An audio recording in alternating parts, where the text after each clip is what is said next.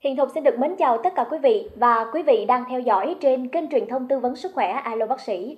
Thưa quý vị, khi nhắc đến trĩ thì nhiều người nói khó nói lắm. Cũng như là khi nhắc đến trĩ thì nhiều người chia sẻ rằng là không biết là ờ, phải ờ, nói như thế nào cụ thể để cho bác sĩ hiểu. Vấn đề khó nói này của quý vị ngày hôm nay sẽ được chúng tôi nói rõ trong chủ đề lần này và đồng hành cùng quý vị xin được trân trọng giới thiệu có bác sĩ chuyên khoa 2 Nguyễn Tấn Quyên, trưởng khoa ngoại tổng hợp Viện Y Dược học Dân tộc Thành phố Hồ Chí Minh. Dạ kính chào bác sĩ ạ. À, chào em. À, dạ thưa bác sĩ, với chủ đề ngày hôm nay là điều trị bệnh trĩ không cần phẫu thuật thì hiệu quả như thế nào? Dạ thưa bác sĩ, người xưa có câu là thập nhân cửu trĩ, vì sao lại có nhiều người bị trĩ như vậy ạ? À? Và có phải rằng là trường hợp nào cũng cần điều trị không mà thưa bác sĩ? À, cái câu nói mà thập nhân cửu trĩ này nè là nó đi từ xưa tới bây giờ. Dạ. và nhiều người cứ ngầm hiểu. Ờ, cứ 10 người là hết 9 người bị bệnh trĩ. Nếu thế thì chúng ta ở đây á, có có ba người là hết hai người bị bệnh trĩ rồi. Không? 10 người là hết 9 người bị bệnh trĩ. Thì Dạ. thế thì nó thê thảm quá đúng không? Thì bây giờ mình sẽ hiểu đúng lại như thế nào. Thì theo ờ, theo các nghiên cứu và theo các tổng kết của các ờ, quốc gia hiệp hội hormone trực tràng học quốc gia. Ừ, ờ, ở các nước á, ờ, cả Việt Nam luôn thì cái tỷ lệ mắc bệnh trĩ á, hiện tại nó khoảng từ 35 đến 50 phần trăm. Thế thì nó không phù hợp với lại cái cái cái cái thập nhân cửu trĩ của mình ha. Thế thì thập nhân cửu trĩ ở đây phải hiểu nghĩa là trong 10 người bị bệnh hậu môn trực tràng thì Dạ. 9 người á, bị bệnh trĩ. À, để nói cái mức độ bệnh trĩ là chiếm tỷ lệ cao nhất trong Dạ. cái nhóm bệnh hậu môn trực tràng chứ không phải là 10 người bị bệnh trĩ thì cái trĩ á, là thật ra nó là một vấn đề nó là một cấu tạo sinh lý của cơ thể ai cũng có hết Dạ. do đó nếu thế thì đâu cần phải điều trị đúng không Dạ. chỉ khi nào trĩ nó bị rối loạn đi cái rối loạn nó làm bất thường cái công năng của nó lúc đó nó tạo thành bệnh trĩ thì lúc đó chúng ta mới bắt đầu điều trị Dạ. và cái quan điểm điều trị hiện nay á, là chỉ điều trị khi nào á, mà trĩ nó làm gây ra cái ảnh hưởng đến cái cái hoạt động của chúng ta cái sinh hoạt đến cái chất lượng sống của chúng ta thì chúng ta mới điều trị Dạ. À, thưa bác sĩ, vậy thì ngoài trĩ ra thì hậu môn chúng ta còn có thể bị bệnh gì nữa? Và có bệnh nào mà triệu chứng giống với trĩ không ạ? Ờ, ở cái nhóm bệnh lý hậu môn trực tràng thì nó có rất là nhiều Dạ. nhưng mà ở đây á à, tôi muốn nói đến ba cái cái bệnh lý mà nó thường gặp nhất à, thì cái đầu tiên là bệnh trĩ là chiếm tỷ lệ cao nhất à, tiếp đến là bệnh họ rò hậu môn dân gian mình thường gọi là mạch lương á. À, và cái bệnh thứ ba nữa là bệnh nứt kẽ hậu môn. Đó. Thì trong ba cái bệnh này thì khi đã mắc rồi thì bắt buộc phải điều trị. Và tùy theo cái loại bệnh mức độ bệnh tình trạng bệnh mà chúng ta sẽ có những cái chiến lược điều trị cho nó phù hợp. Ừ. Dạ, à, thưa bác sĩ, vậy thì ờ, nhờ bác sĩ có thể chia sẻ với tất cả quý vị khán giả được hiểu rõ là ờm, hiện nay chúng ta có những phương pháp điều trị nào ở cả khía cạnh về Tây y cũng như là Đông y? Và tại à, Viện Y Dược học Dân tộc Thành phố Hồ Chí Minh nơi bác sĩ đang công tác thì à, có áp dụng những phương pháp nào ạ? Ờ, theo quan điểm mà điều trị hiện tại thì điều trị bệnh trĩ đây mình chỉ nói về bệnh trĩ thôi nha thì có ba nhóm điều trị. Dạ, một là nhóm điều trị bảo tồn tức là sử dụng ờ, điều trị nội khoa là uống thuốc hay là những chế độ tập luyện sinh hoạt Ờ, vân vân. Ờ, thì không cần phải can thiệp. Còn hai nhóm còn lại là nhóm điều trị can thiệp. À, thì hai nhóm này một nhóm là nhóm điều trị bằng thủ thuật nhóm điều trị bằng phẫu thuật. Thì nhóm điều trị bằng thủ thuật hiện nay á, thì nó có hai phương pháp mà được y học chứng cứ công nhận đó là phương pháp thắt trị bằng dây ờ, dây thun và phương pháp tiêm trị bằng thuốc. Ừ thì ở viện y học dân tộc hiện tại là đang điều trị cái phương pháp gọi là điều trị bệnh trĩ bằng thủ thuật tiêm BG60 dạ, à cái thuốc tiêm BG60 này là cũng là một cái thuốc ừm, ừm, đặc đặc trưng riêng của viện và từ đó mới có cái phương pháp điều trị này. Dạ. À, vậy thì à, thưa bác sĩ Tuấn Quyên ơi, nhờ bác sĩ có thể à, chia sẻ cụ thể hơn về à, tiêm VG60 và phương pháp này nó có lịch sử như thế nào? Cũng như là sau khi tiêm thuốc này thì tỷ lệ thành công là bao nhiêu phần trăm ạ? Ờ, nói về phương pháp này á, thì thật ra phương pháp tiêm điều trị bệnh trĩ nó có rất là lâu đời. Từ Dạ. những năm thế kỷ 19 á, là người ta đã bắt đầu người ta thử, thử áp dụng để người ta điều trị rồi. Dạ, nhưng mà cái tỷ lệ thành công nó thấp và tỷ lệ biến chứng nó lại nhiều. Do đó dần dần dần nó đi rơi vào quên lãng và người ta cũng không có chuộng cái phương pháp này lắm và từ từ từ từ người ta lại uh, thích cái phương pháp là phẫu thuật hơn nó nhanh gọn và nó có hiệu quả tức thì thì đến năm 1960 có một người uh, chiến sĩ cách mạng là lương y lê văn chánh yeah. Dạ. à, ông là từng là tham mưu trưởng của tỉnh bến tre và bị địch bắt đưa đi đài bên ngoài ra ngoài côn đảo thì ở đây á, có những người tù nhân á, họ mắc bệnh trị rất là nhiều và đứng trước cái tình cảnh đó thì ông mới được uh, một cái tài liệu á, của của những cái uh, người đi trước á. Người ta dùng phương pháp tim này nè và ông áp dụng cái phương pháp này để điều trị cho những người tù ở, ở cung đảo. À, và khi mà trở về đất liền ông làm quản lý dưỡng đường duy tân á, thì ông tiếp tục à, mày mò cái phương pháp này để làm sao á, mà nó được giảm cái tỷ lệ tai biến mà nó tăng cái tỷ lệ thành công lên. Sau nhiều cải tiến nhiều thay đổi vân vân và dần dần dần dần cái phương pháp điều trị chỉ bằng tim PG60 nó dần dần ổn định yeah. Dạ. và tạo thành một phương pháp mà phải nói là đặc trưng của viện y học dân tộc thành phố Hồ Chí Minh uh, cho đến hiện nay và cái hiệu quả điều trị của nó đó có thể nói là lên hơn 90%. Cái phương châm của phương pháp này và đúc kết của hơn gần uh, hơn 50 năm qua từ năm 60 đến bây giờ yeah. Dạ. kết luận được là hiệu quả an toàn và đồng thời á, cái chi phí của nó tương đối là nó không có cao do đó nó phù hợp với lại đa số lại ờ, đông đảo quần chúng Ừ. Dạ, à, thưa bác sĩ, nhiều người vẫn thắc mắc một cái phương pháp an toàn và tốt như vậy thì liệu rằng là nếu như mà họ cũng giá thành cũng không cao nữa như bác sĩ đã chia sẻ thì liệu rằng nếu như có tái phát lại thì họ vẫn tiếp tục tiêm hay là như thế nào ạ? Đúng rồi. Dạ. À, bất kỳ một bệnh lý nào cũng vậy. À, bác sĩ đi khi đi đến bác sĩ á, mình uh, người bệnh nhân sẽ được điều trị khỏi. Nhưng nếu không tránh được những cái yếu tố thuận lợi, dạ. những cái nguyên nhân nào đó gây bệnh thì nó sẽ đương nhiên nó sẽ tái phát đúng không ví dụ như bạn viêm phế quản mà bạn điều trị hết rồi bạn không không tránh hút thuốc thì nó lại một ngày đẹp trời nó lại là bị viêm phế quản. Dạ. đúng không à, bạn đơn giản như bạn bị sâu răng à, bác sĩ có thể trám răng hoặc là nhổ răng nhưng nếu bạn không có ăn uống cho vệ sinh bạn lại ăn ngọt hay là bạn hút thuốc hay bạn vân vân và vân vân thì nó đương nhiên một ngày nó lại sâu cái răng khác dạ đúng không dạ ừ. à, dạ thưa bác sĩ cũng được biết là à, bác sĩ đã đi đến nhiều tỉnh thành để phổ biến cái phương pháp à, tiêm PG60 này vậy thì à, nhờ bác sĩ Tuấn Quyên có thể chia sẻ về hành trình này được không ạ ừ. thì cái nguyện vọng của lương y Lê Văn Chánh. Dạ. là phải phổ quát cái phương pháp này cho toàn dân được hưởng. Dạ.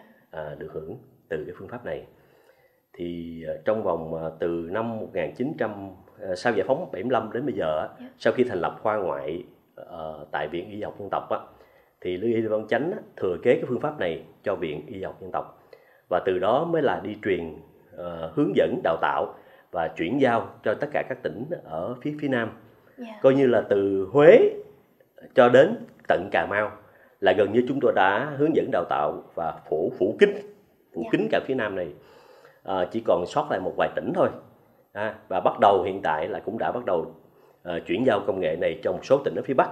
Ví dụ như tỉnh à, mới đây là thái nguyên này nghệ an này, vân vân cũng bắt đầu là sử dụng phương pháp này.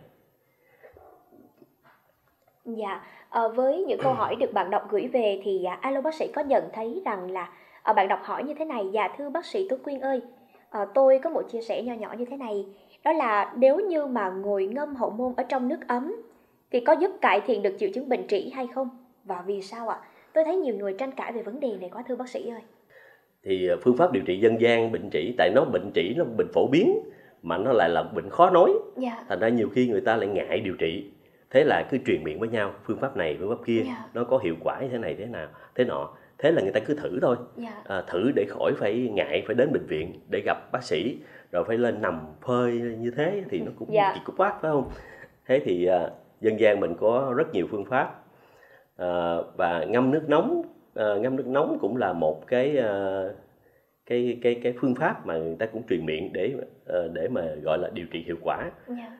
thực ra đối với lại cái kinh nghiệm của chúng tôi á, điều trị á, ngâm nước ấm chỉ giải quyết á, vấn đề á, là giải quyết cái trị triệu chứng yeah. Dạ. à, triệu chứng ví dụ như khi búi trĩ sai à, sai nghẹt bên ngoài thì chúng ta thể ngâm nước ấm để nhưng mà đồng thời chúng ta phải nhét được cái khối trĩ vào trong thì nó mới giải quyết được chứ còn chúng ta ngâm á, có thể là ngâm một hai tháng một vài năm thì nó cũng thế nó cũng Dạ. không giải quyết được gì à, ờ, và ờ, nhiều phương pháp nữa ví dụ như là người ta có thể ờ, truyền thụ người ta truyền miệng với nhau á, điều trị bằng xông lá trầu nè Dạ. à, xông lá giáp cá nè à, thậm chí có người á, là lấy cái máu con lương á, để bôi lên búi trĩ vân vân Dạ. Thì ờ, nếu mà nói về ờ, đứng ở góc độ mà đông y học á thì nó cũng có một số tác dụng. À chứ không phải là không có. Dạ. Ờ, người ta mới đúc kết lại người ta mới truyền truyền bá từ đời này sang đời khác. Nhưng mà đến nay ở thế kỷ 21 như vậy á, rồi á, thì nó có những cái khoa học đã tiến bộ rồi. Có những phương pháp điều trị chính thống rồi.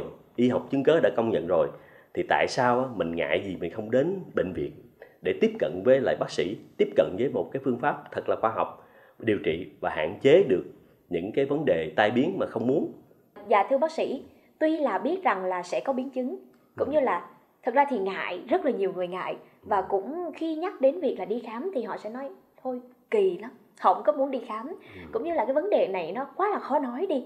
Vậy thì ờ, một câu hỏi được đặt ra là khi mà họ đến cái nơi để chữa bệnh, đến cái nơi để khám thăm khám như vậy thì ờ, nhờ bác sĩ chia sẻ là bệnh nhân ờ, sẽ được bảo vệ hay là gọi là bệnh nhân sẽ được thực hiện như thế nào để đảm bảo sự riêng tư để bệnh nhân qua chương trình này thì nếu như mà bệnh nhân có bị thì sẽ cảm thấy yên tâm hơn về cái việc mà chúng ta đến phòng khám ạ. Ừ. phương pháp điều trị bệnh bệnh trị bằng tim B60 á thực tế là thực sự là mình sẽ tiêm trực tiếp vào búi trĩ Dạ. để làm cho búi trĩ nó từ từ nó co teo lại và nó nó tan biến đi à, một cách nhẹ nhàng. À, nó thực sự nó cũng không có gây đau đớn gì nhiều chỉ có khó chịu khi lúc mà mình banh vạch hậu môn ra để mình tiêm thuốc thôi. Thì ờ, phương ờ, cái khi mà cái tư thế mà khám trĩ á, theo mà cổ điển trước giờ đó thì nó sẽ có ờ, ba tư thế mà thường người ta sẽ áp dụng đó một là tư thế sẵn khoa.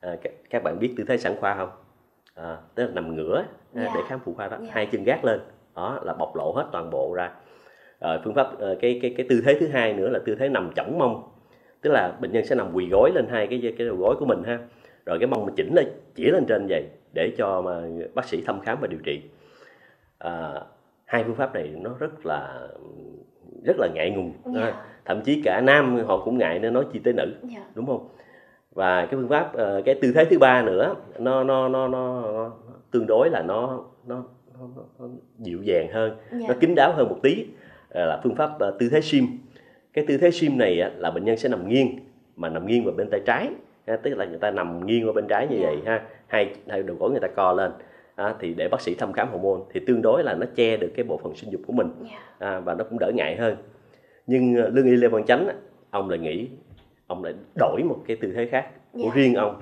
Đó là tư thế PG à, tư thế này là gì? Nằm nghiêng mà nằm nghiêng bên phải.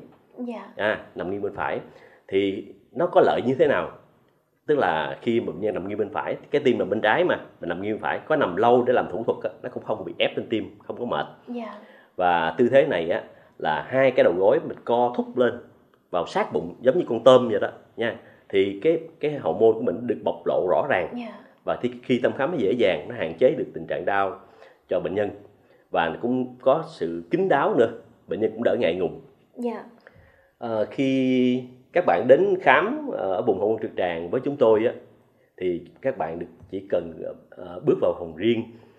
Chỉ cần có một bác sĩ và một điều dưỡng tiếp xúc với bạn một cách nhẹ nhàng hướng dẫn cho bạn cách tư thế nằm rồi giải thích cho bạn là như thế nào rồi sau khi tiêm thế như thế nào cái quá trình liệu trình như thế nào và trong quá trình điều trị trị á, thì chúng tôi vẫn trao đổi vui vẻ để gây, ờ, tránh cho bệnh nhân tình trạng căng thẳng Dạ. gây cái co thắt hậu môn và chỉ cần mất khoảng chừng 3 đến 5 phút là xong một cái liệu trình tiêm thuốc Ờ, xong rồi cái là bệnh nhân thoải mái thậm chí có người không biết là bác sĩ đã tiêm hay chưa nữa Dạ. ừ.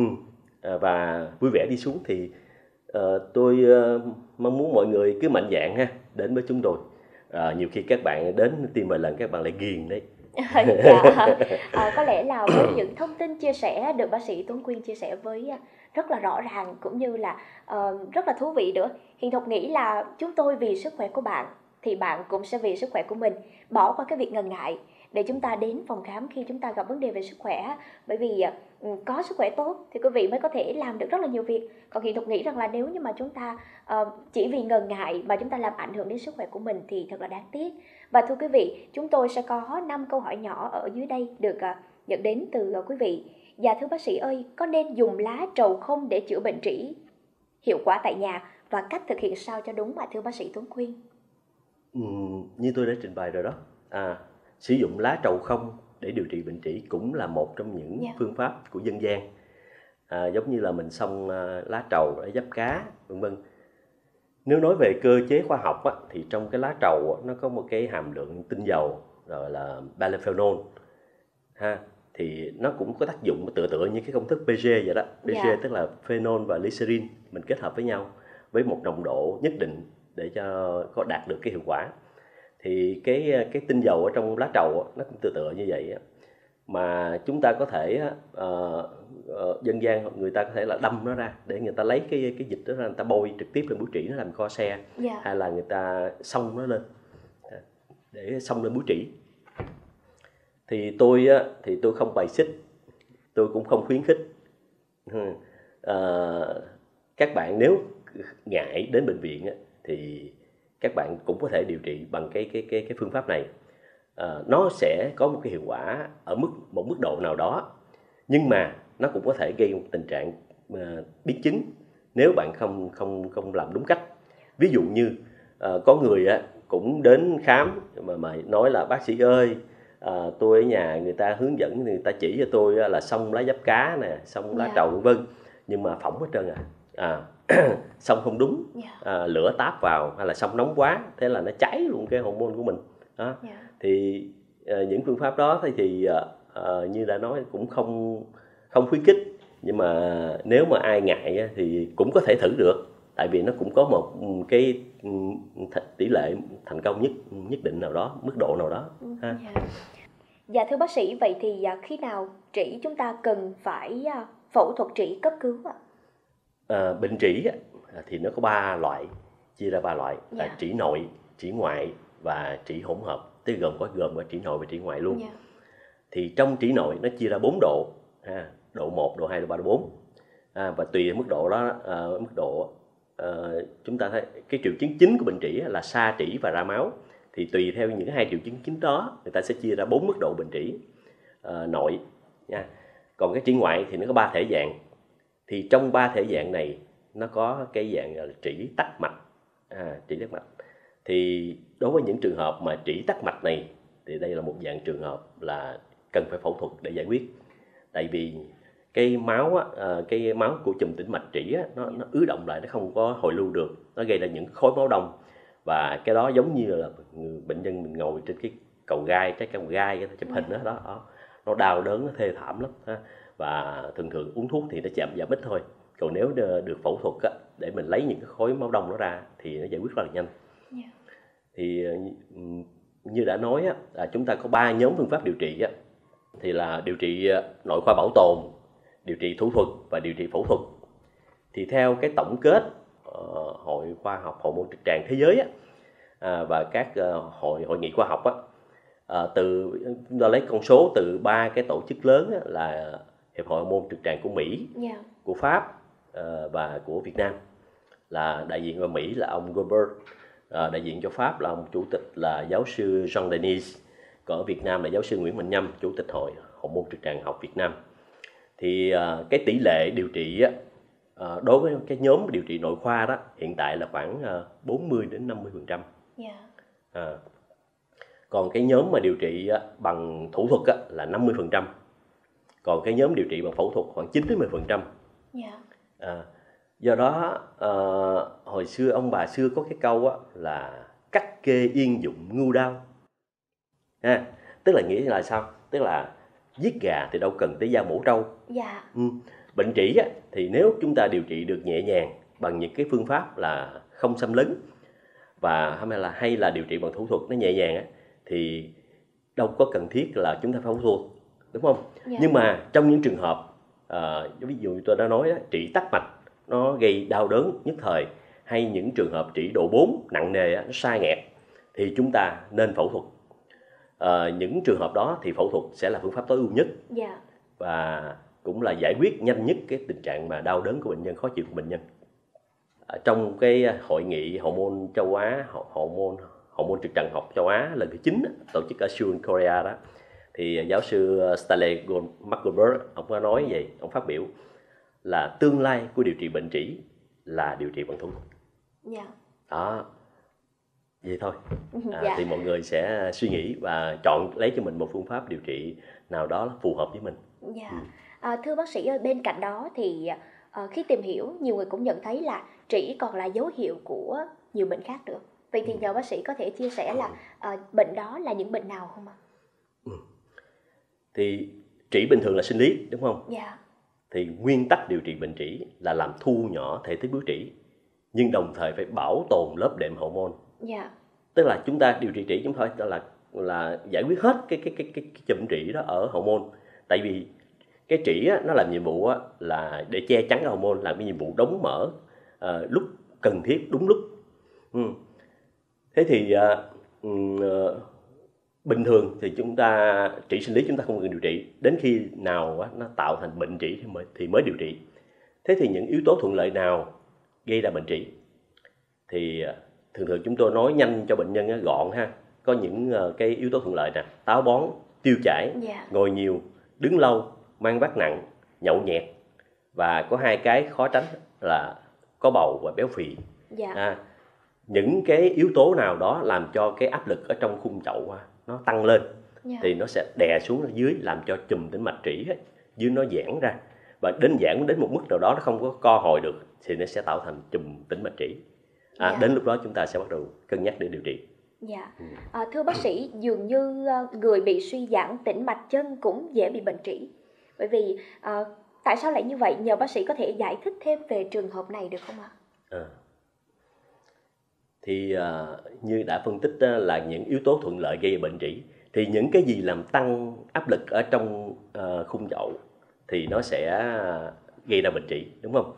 Ví dụ như cái bệnh đơn giản như là bệnh táo bón hay tiêu chảy. Nhiều người cứ nhầm táo bón rặn nhiều thì mới mới bệnh trĩ nhưng mà chưa chắc. Tiêu chảy cũng gây bệnh trĩ nặng nề Dạ.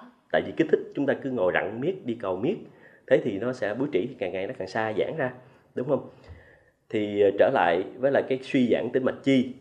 Suy giãn tĩnh mạch chi là cũng một tình trạng là sa giãn ờ, của cái chùm tĩnh mạch chi. Thì đối với bệnh trĩ là sa giãn chùm tĩnh mạch trĩ. Dạ. à, thì hai cơ chế đều là bệnh lý của mạch máu là suy tĩnh mạch ờ, suy cái chùm tĩnh mạch. Thì ờ, nó chỉ khác nhau ở vị trí thôi. Trĩ thì nó ở chùm tĩnh mạch trĩ ở môn còn ờ, suy tĩnh mạch chi là ở hai chi à, hai chi dưới thì khi mà máu nó không có hồi lưu được và tình trạng cứ tăng áp lực miết thì nó sẽ gây ra tình trạng sa giãn và gây ra suy tĩnh mạch. Thì hai cái thì cùng một cơ chế điều trị suy tĩnh mạch ha? Dạ. à, cái thuốc nó cũng xài chung à, đều là suy tĩnh mạch mà Dạ. đúng không?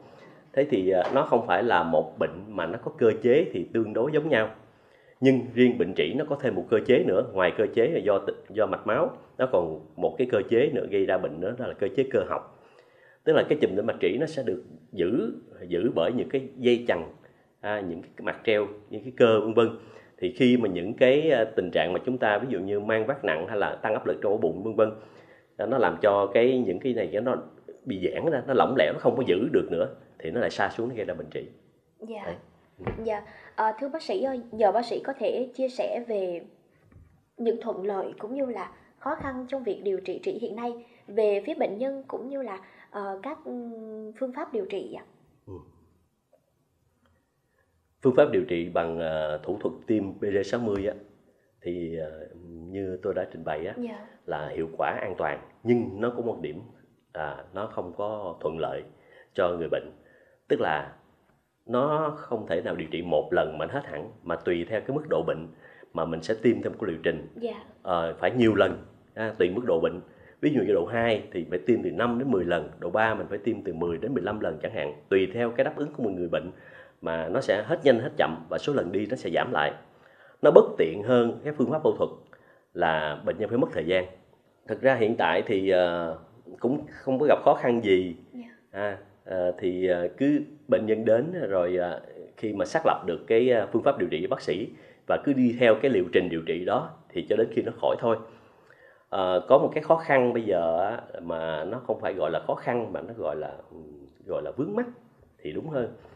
À, tại vì theo cái phát đồ điều trị của bộ y tế hiện tại thì à, người ta dựa vào à, cái cái những y văn trước đây thì điều trị bệnh trĩ trĩ nội chỉ có điều trị ở mức độ 2 thôi chỉ độ 2 thôi ha. Nhưng mà trong cái quá trình điều trị 50 năm ở tại viện thì chúng tôi đã điều trị rất là tốt cái bệnh trĩ độ 3 và thậm chí một số trường hợp mà chống chỉ định phẫu thuật ở bệnh nhân trĩ độ 4 yeah. Dạ. chúng tôi điều trị vẫn có một cái hiệu quả nhất định do đó cái mong muốn hiện tại là là uh, có thể nào mà uh, bộ y tế điều chỉnh lại cái phát đồ dạ. để mà thay đổi cái phát đồ đó thì nó sẽ phổ biến rộng hơn và áp dụng được cho cái ờ, đối tượng bệnh nhân bảo hiểm y tế người ta được hưởng hưởng lợi nhiều hơn đó là cái khó khăn hiện tại đó cái vướng mắt hiện tại của chúng tôi là như thế dạ. ừ. à, thưa bác sĩ trong suốt quãng thời gian thực hiện giãn cách vì à, dịch covid 19 alo bác sĩ cũng không không thể đếm được là đã nhận được bao nhiêu cuộc gọi liên quan đến vấn đề về trĩ và uh, nhờ bác sĩ có thể chia sẻ là uh, sau dịch cũng như là bây giờ chúng ta đã thực hiện bình thường mới rồi thế nhưng mà uh, dịch bệnh ảnh hưởng như thế nào đến việc điều trị của bệnh nhân ạ? Thực ra thì uh, cũng không có ảnh hưởng gì uh, đối với lại cái phương pháp điều trị hết. Yeah. Dạ. Mà chỉ có ảnh hưởng là gì? Là thực hiện chỉ thị 16 người dân không được ra đường. Yeah. Dạ. Thì nếu không được ra đường thì làm sao điều trị? Thế thì cái lượng cái lượng mà điều trị qua tư vấn bằng điện thoại thì nó tăng lên ồ tôi là phải cứ là điện thoại liên tục để mà hỗ trợ bác sĩ ơi bác sĩ dạ. ơi đau quá đau quá thế này thế nọ thì mình hỗ trợ được tới đâu thì hay tới đó dạ. Còn bây giờ chúng ta đã đến cái giai đoạn là bình thường mới rồi thì mọi người cứ bình thản à, thực hiện theo đúng cái à, hướng dẫn của của chính phủ bộ y tế là thực hiện uh, tiêm chủng đầy đủ dạ. rồi thực hiện uh, 5 k mà theo tôi hai hai ca là cũng đủ rồi dạ. à, là khẩu trang và khử khuẩn là dạ. là ok à, tại vì chúng ta đã xác định là chúng ta đang sống chung với lại covid dạ. mà chứ nếu chúng ta giữ khoảng cách rồi làm sao chúng ta uh, điều trị được đúng không chúng ta sao trở thành bình thường mới được dạ. ừ. đó thì uh, chúng ta cứ uh, điều trị lại như bình thường dạ. mọi việc bình thường và không có chuyện gì xảy ra dạ. à. À, thưa bác sĩ, à, vì thời lượng chương trình cũng có hạn cũng như là hiện thục cũng ờ, biết rằng là tất cả quý vị khán giả cũng à, có rất là nhiều câu hỏi. Thế nhưng mà à, vì thời lượng chương trình chỉ có hạn thôi thế cho nên là để khép lại chương trình ngày hôm nay thì à, nhờ bác sĩ Tuấn Quyên có thể gửi một vài lời khuyên cũng như là à, có điều gì nhắn nhủ đến với tất cả quý vị khán giả đặc biệt là những ai à, đang mắc phải căn bệnh khó nói này. Nhờ bác sĩ Tuấn Quyên có thể nhắn nhủ đến với quý vị được không ạ? À, xin chào mọi người bệnh trĩ trước đây là một cái bệnh khó nói yeah. Dạ. và tôi mong muốn rằng bây giờ các bạn hãy nói với các bác sĩ nói với chúng tôi chúng tôi sẽ giải quyết à, những cái nỗi niềm đó cho các bạn và chào đón mọi người đến với à, viện y dòng tộc để à, chúng ta dứt bỏ cái nỗi niềm thầm kín bấy lâu nay chúng ta mang nặng nó chúng ta đeo đẳng nó và cũng đồng thời để uh, tránh một cái tình trạng có thể là các bạn chưa mắc bệnh và có thể bạn các bạn đã mắc bệnh rồi thì các bạn hãy thay đổi cái lối sống thay đổi chế độ sinh hoạt thay đổi chế độ ăn uống. Đó trước mắt là chúng ta giải quyết như thế nào để tránh táo bón tránh tiêu chảy à, tránh ngồi lâu tránh làm việc nặng. Đó những cái đơn giản mà chúng ta có thể làm được và để chúng ta quẳng nó đi và vui sống. Dạ à, một thông điệp rất là đẹp rất là hay quãng đi và vui sống được à, bác sĩ Tuấn Quyên chia sẻ ngày hôm nay. Hiện Thục tin rằng là uh, câu chuyện về bệnh trĩ ngày hôm nay được bác sĩ Tuấn Quyên cùng với Hiện Thục và tất cả quý vị khán giả chúng ta uh, trao đổi và uh, nghe từ đầu chương trình đến giờ chắc có lẽ là quý vị cũng đã tự cung cấp thêm cho mình được uh, rất là nhiều những kiến thức bổ ích. Và cũng nhân chương trình ngày hôm nay thì uh, cho phép Hiền Thục xin được uh, một ít thời gian để chia sẻ đến với quý vị một câu chuyện thú vị như thế này. Đó là uh, khoảng vài năm về trước thôi thì uh, thành viên của Alo Bác sĩ có làm tại một bệnh viện quận và cũng nghe được nho nhỏ à, hai cô nào đó nói chuyện với nhau. Họ chia sẻ rằng là khó nói quá họ không biết nói như thế nào hết á. Nhưng mà ngày hôm nay đến bệnh viện này sao tự nhiên được khám cái thấy thoải mái cũng như là yên tâm hơn. Bởi vì à, không có gì bằng việc mua được sự yên tâm hết đó quý vị. Và khi mà họ khám xong thì họ cảm thấy rất là vui vẻ và đi ra cũng như là uh, khám trĩ thì nhiều người vẫn sợ và lo lắng. Và qua tìm hiểu thì chúng tôi uh, đã nhận thấy được rằng là sẽ khó tìm được một phòng khám nào mà tâm lý của bệnh nhân thoải mái cũng như là bệnh nhân cảm thấy rất là yên tâm như là phòng khám hậu môn trực tràng mà chúng tôi đã tìm hiểu được thì à, bác sĩ Tuấn Quy ngày hôm nay ngồi ở đây cùng với tất cả quý vị khán giả thì à, đã chia sẻ rất là nhiều rồi. Hiền Thục hy vọng rằng là nó sẽ giúp ích nhiều cho quý vị. À, dạ thưa bác sĩ cũng một lần nữa thì à, xin được thay mặt cho ekip thực hiện chương trình cũng như là tất cả quý vị khán giả gửi một lời cảm ơn đến bác sĩ đã nhận lời tham gia. À, cảm ơn quý quý vị đã lắng nghe và chúc mọi người một cái sức khỏe và một cuộc sống bình an. Xin chào. Cảm ơn tất cả quý vị khán giả vì đã quan tâm theo dõi. Mến chúc quý vị nhiều sức khỏe, an toàn và vững tâm vượt qua đại dịch. Thân ái chào và hẹn gặp lại tất cả quý vị vào số phát sóng tiếp theo. Hãy đăng ký kênh Alo Bác sĩ Video để nhận thêm nhiều thông tin mới nhất về y tế, sức khỏe.